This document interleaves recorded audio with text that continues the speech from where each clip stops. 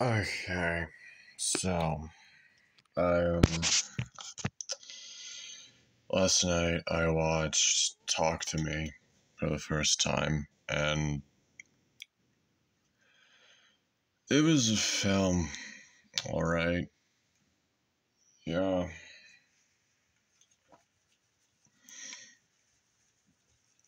Um, acting was really great overall. Everyone brought their A game, but the star of the show, in my opinion, was the actress who played Mia. I don't even know her name. Um, basically, acting from everyone involved was insane, especially considering how young they are. I mean, they all were at least in their 20s or late teens. Well, except for the adults in the cast, you know, obviously, and Mia's dad and um, mother, Miranda Otto. She was good, like usual. I mean, it's Miranda Otto. She's usually good in everything she's in. Um, it was weird though. Uh, practical effects for everything really were amazing. Some of it, in particular, the one scene, you know, the one I'm talking about, uh, that was really fucking. Uh, I'm not you, uh, you know, like, I've seen a lot of really fucked up movies recently in just recent memory, and I kind of gotten used to gore again because when I was a kid, I looked at shock videos that I shouldn't have and saw a bunch of gore there. But um, the um, that scene in particular, it was really fucking crazy. The violence was particularly visceral and just it was portrayed in a way that you don't usually see in movies, you know usually the violence is portrayed in sort of a Hollywood manner, if you know what I mean. It doesn't seem real. This fucking this looked real. I mean, obviously wasn't, but it it it it reminded me of some of those videos I saw, basically. Like when he was doing what he did, I was reminded of some shock videos I saw when I was younger that I shouldn't have seen, honestly. Kind of wish I hadn't, because it's all in there now, forever.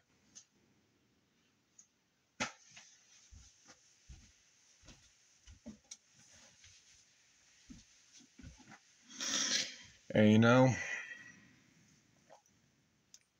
I mean, it's totally fine. It's, it's, it's, it's not like that's permanently changed my brain in any way. No, totally not. Um, basically, I really liked this movie now that I've kind of gotten a bit of distance from it because for some reason, this is the part that really weirded me out about it. Um, but anyway, I should probably actually do the rest of the review first. This is unscripted, by the way. This is just initial impressions. I'll probably do a full out review later because I liked it that much. Um, basically, Sorry, my voice is still hurting from that four hour recording I did, but it got deleted because it didn't record the entire thing it was corrupted and shit. Basically, cinematography was crazy. Like, for a debut film, this was really well shot. Um, the montage scene was re- that was fucking cool. Um, all the characters though I just I mean, they're well written. They were well written. They seemed like actual people. They seemed like actual people, you know, but they were fucking morons. Like I I may be a fucking youngin myself, but no. If, if I was there, there's no fucking way you could get me to touch that thing. Even no. That shit, you don't mess with that shit. Um, the ending was crazy. that is a fucking bleak as fuck depiction of the afterlife. Holy fuck, man. Um.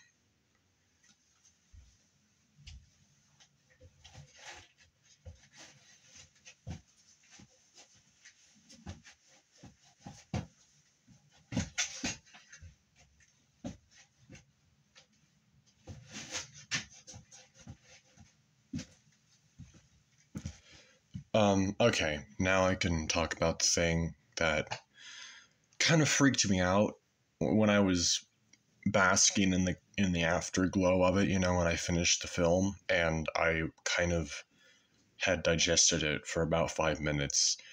Um this really is weird to me because it's happened a couple times now when I'm watching films and I don't even know what it is, but it's this it's this reaction I have where if it's an intense scene, if I'm, I don't know, if it's an intense scene and I'm actually into the movie, I start like having physical reactions to it. Like for this one, I started hyperventilating and I was almost crying. And when she did that to her dad, um, I I, I audibly gasped and was like, like that. That I don't understand what's going on there. I'm not, I don't usually do that. So this was really weird because afterwards, when I was sitting at my at my desk over there, um, the reality of how weird that is hit me, and it was like, why did I do that? Why was I hyperventilating? Why was I acting like that? Because in the moment it was fucking, it felt it was genuine. Like I knew it was genuine. I was, I was, this wasn't fake. And then afterwards, I was sitting there like, why was I like that? What is going on? And I, I like, I guess part of it can be chalked up to the fact that I lost my grandfather recently. Well, relatively recently. It's almost been a year now, which is kind of insane. Um, Great. So it's been year. Um, I really hope I don't have a bit of an episode on the day. Uh, you know, I think part of it might have been the whole grief aspect that's in the film, but uh, it's really not that focused on that. It's, I mean, it kind of is because it's central to Mia's character, but at the same time, I don't, I don't get why I was, why I was doing that. Like, I legitimately can't understand it which is confusing me. It's really weird. It's really weird. Holy shit. I just noticed how red my hair looks in the sun. That is insane. Because, like, if I turn it here, it doesn't look that way. Turn it here, doesn't look like that. Put it here, looks red as fuck. What is going Like, it's like, um, Yeah, man. This is probably my favorite outfit I have. But yeah, overall, I really liked Talk With Me. I'll probably do a full, full out review of it at some point. That'll be cool. Um, I have a list over here. I have a list over here of films that I want to see. I mean, it increases over time, but right now I have um, In a Violent Nature, which I wanted to watch when it came out because I thought it was going to be on Shudder. It's not on Shudder yet, which is pissing me off. I got to admit. And then I want to see. I saw the TV Glow, which I wanted to see in theaters because it's it's directed by Jane Schoenbrun, and I really liked her first film. Um, we're all going to the World's Fair. That was fucking crazy good. I loved that and everything I've heard about uh, I saw the TV glow is making me want to see it even more. Um, then I have Poor Things, directed by Yorgos Lanthimos, because it's it's Lanthimos. I want to see it. That's really all I need to say. Um, and then, of course, Talk to Me after that, but I just watched that last night and I gave it a wow out of five.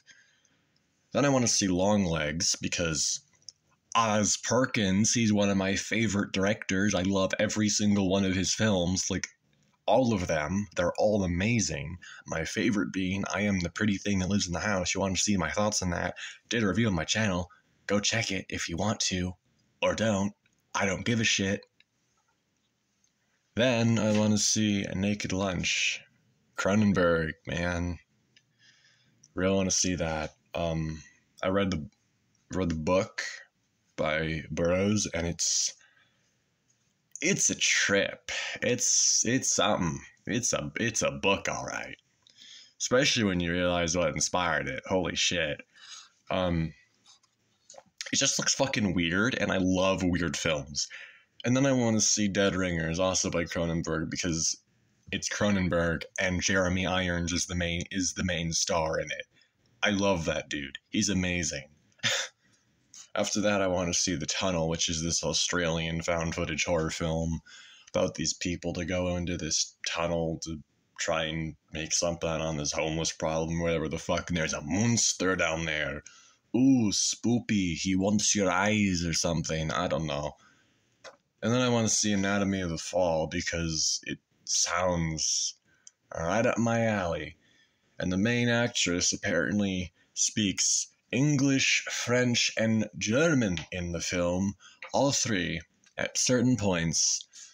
And I that just sounds amazing to me because I'm uh, my first language, my first language, my, my my native language is obviously English, as you can tell. But I can also speak German. Well, I can't speak it, but I can read it pretty well. I'm, I'm fluent in it basically when it comes to reading and translating. And French as well, it's the same. So it's like why not? I want to see it. Plus, it's it's it's it's, a film. Film that's really good. You know, it, it, I've heard it's really good. Basically, um, this is just probably going to be a rant, rambling video. Honestly, I, it was started out as a review of Talk to Me. I was just be rambling for some reason. You know, um, ordered this bad boy because I wanted it and um because I saw the the TV show, the TV series, HBO uh, with Paul Giamatti, and I literally can't read anything John Adams wrote anymore without hearing his voice. It's it's crazy, but yeah, this is really good so far. Um, I wasn't expecting to relate this much to Adams as a person.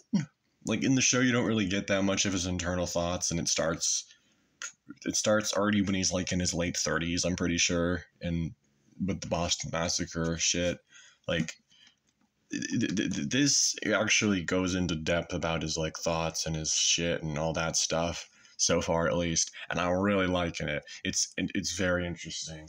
And then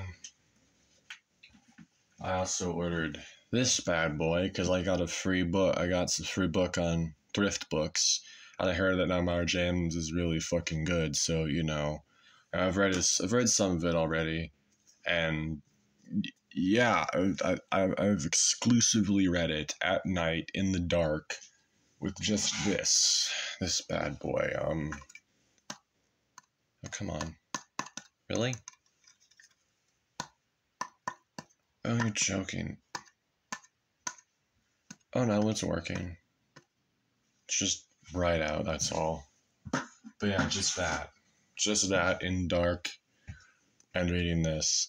And let me tell you, it's spooky.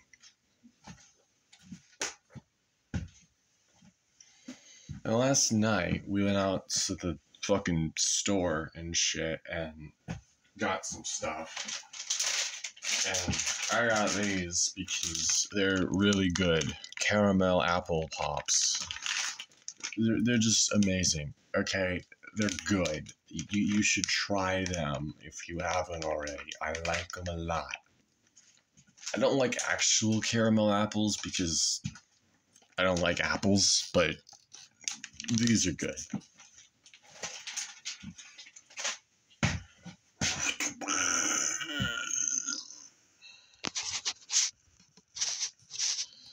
There's a lot of uh, there's a lot of shit going on in here, you know. Um, all of these little drawings I've done, I swear, I'm becoming an artist. I it's really weird.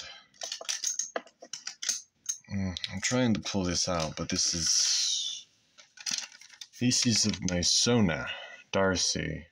It's not colored in, but yeah, you can see Jude on June 16th.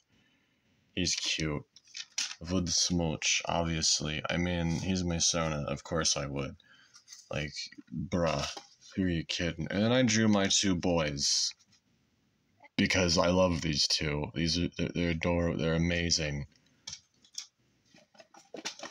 And my fic, my fanfic of those two is coming along swimmingly. We're getting, I'm getting real close to the end of it. Surprisingly, it's probably gonna be like thirty chapters. I don't even know, 30, 30-ish chapters around there. It's gonna be wild. It's gonna be wild, all right. Working on chapter 29 right now, because my mom. I'm still working in chapter 29. It's crazy. I remember I finished chapter 28, but yeah. Oh, it's taking so long.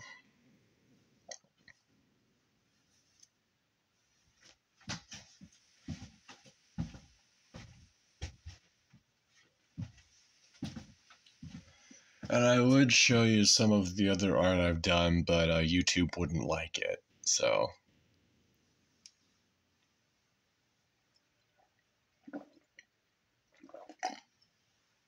Which, by the way, fuck you, YouTube. Fuck you and your puritanical bullshit.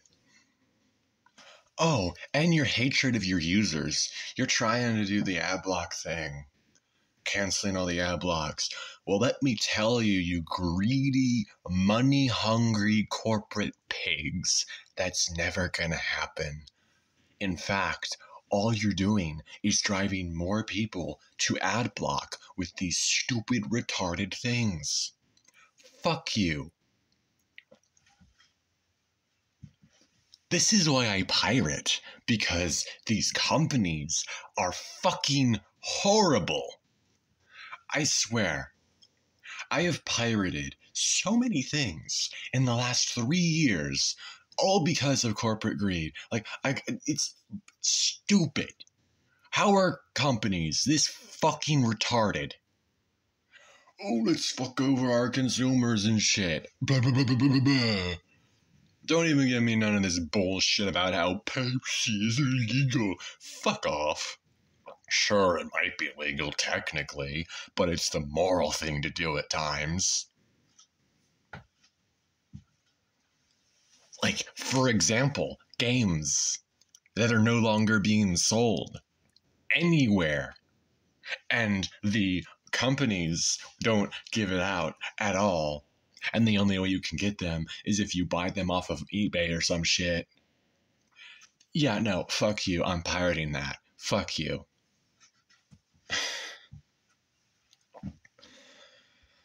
yeah, I saw the fucking Silent Hill 2 remake story trailer today, and it fucking sucked. Oh my god. The acting. The acting is terrible. Like, sure, it's competent or whatever. It sounds more natural or whatever. You don't want natural sounding dialogue in a Silent Hill game, okay? That's not the fucking point of a the dialogue is supposed to sound dreamlike. It's supposed to sound stilted. That's the entire fucking point. Fuck you, Bloober Team. Fuck you, Konami. God. What is so hard for these companies to understand? and take it from someone who's gay as fuck, Maria she looks like like she shouldn't be like that. There's this fucking story reason why she looked like that in the original game. You know, James's whole sexuality and all that, and oh boy, blah, blah, blah, blah, blah. Like, and even if all of that was in check, even if all of that stuff worked out, even if it was all perfect in the remake, it still wouldn't work. Because the main thing about that game that skyrocketed into popularity was the story. And the story is known by literally everyone. So you're it's not going to succeed basically. And because it's not going to succeed, um, Konami's going to cancel all of the other Silent Hill projects, including the one I'm actually excited for, Silent Hill F, which is being written by Ryukishi07, Deutera Higurashi. Like, bitch, are you fucking insane? Like, if that gets canceled, I'm gonna be angry because Konami was already a bunch of greedy, petty, motherfucking corporate pigs over PT, over fucking Silent Hills back in 2014. Fucking hate them. Oh my god. Fucking insane what these companies do. I fucking hate them. You know what else I hate? This fucking election bullshit. I'm so sick and tired of hearing about it. It doesn't fucking matter. Okay? It doesn't fucking matter who wins. It's going to be shit no matter what. Okay? Trump's terrible. Kamala's terrible. I'm just glad Biden's out. That dude is that dude needs to be put in a fucking nursing home. He deserves to spend out the rest of his days in a nursing home or with his family or some shit. He should not still be in office. It's it, it's elder abuse at this point. like like at least Trump is at least trying to listen to libertarians, but at the same time it's like he's terrible. Okay, he's fucking terrible. I hate him. I hate Kamala. I hate both of them. They're both fucking terrible but oh, because the cathedral put them in place, now we just have to wait for that shit. Well, I shouldn't say put Trump in place. They hate him because he challenges their whole, you know, control. Because, oh no, how dare someone be whatever bullshit, you know? It's stupid. And I don't even like the dude. He's an egomaniac. He's, he's terrible.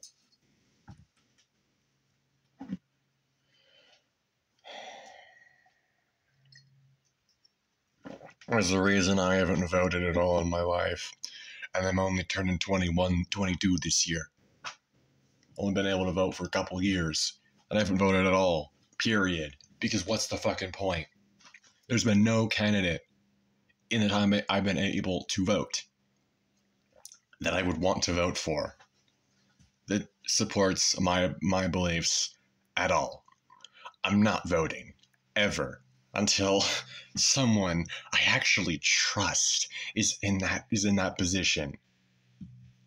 I was gonna vote for Vivek Ramaswamy, but you know he dropped out to support Trump for some fucking retarded reason. I guess because the Republicans are a bunch of fucking idiots and just stuck with Trump again. Fuck the Republicans. Fuck the Democrats. Just terrible party, terrible parties all around there's no bet there's no better side. They're both they're both one side of the same coin. Fuck both of them. Oh, you want you want no more war? Well, fuck you on both accounts. Oh, you want taxes gone? Well, fuck you on both accounts. Basically, taxes shouldn't exist. Taxation is theft. Fuck you.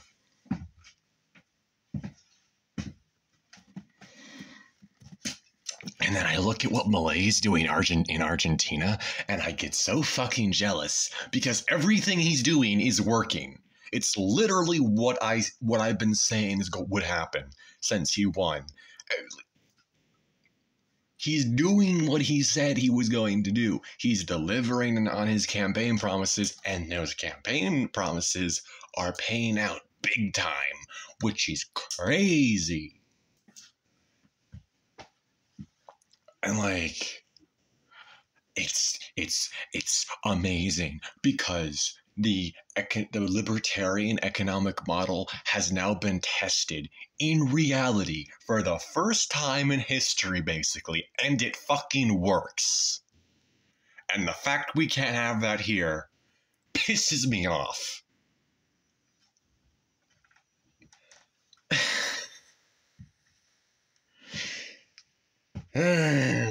Yeesh. This shit makes me so fucking angry, I swear. Um, anyway, I've rambled on long enough. Uh, bye bye, fuckers. Bye, motherfuckers. Suck a dick. Bye bye.